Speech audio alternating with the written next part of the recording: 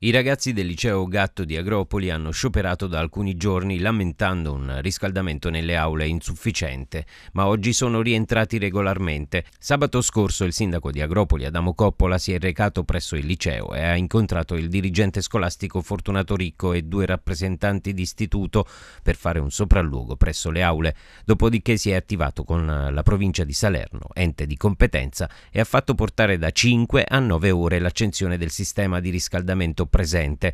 Inoltre ha fatto sapere che si prevedono ulteriori novità per migliorarne il funzionamento. La situazione ad oggi in ogni caso è accettabile, ha dichiarato il sindaco. Provvederemo subito a migliorare la situazione. Nel frattempo però è bene che i ragazzi facciano ritorno a scuola in modo da non perdere altre importanti ore di lezione.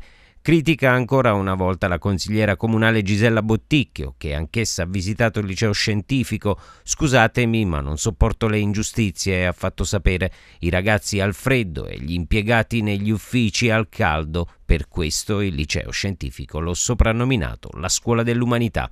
Intanto la provincia di Salerno ha promesso che dall'anno prossimo il contratto stipulato con la società che gestisce il riscaldamento scolastico non sarà rinnovato, cedendo le redini dell'impianto solo ed esclusivamente al personale del liceo, facendo sì che i termosifoni possano restare accesi per ben 24 ore.